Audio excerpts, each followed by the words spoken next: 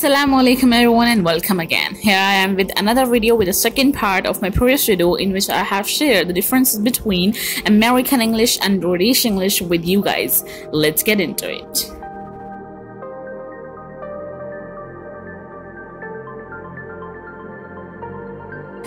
One of the best known difference between American English and British English is the fact that the sports known as football in Great Britain is usually called soccer in the United States.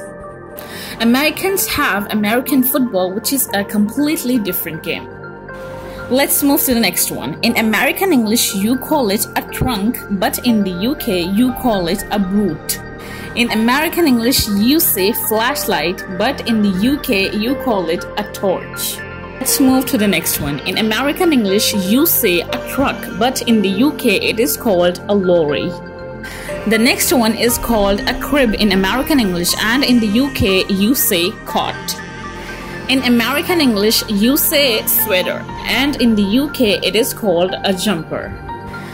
These are called popsicles in American English and in the UK you call them ice lolly. When you are on a trip with your family and friends, in America you will say we are on a vacation and in the UK you will say we are on a holiday. Let's move to the next one. This one is called an elevator in American English and in the UK you call it a lift. That's it for today's video. If you want me to make such videos for you guys, then be sure to give this video a big thumbs up. Please guys, show some support and thank you so much for watching. I'll see you in the next one inshallah. Till then, Allah Hafiz. Peace.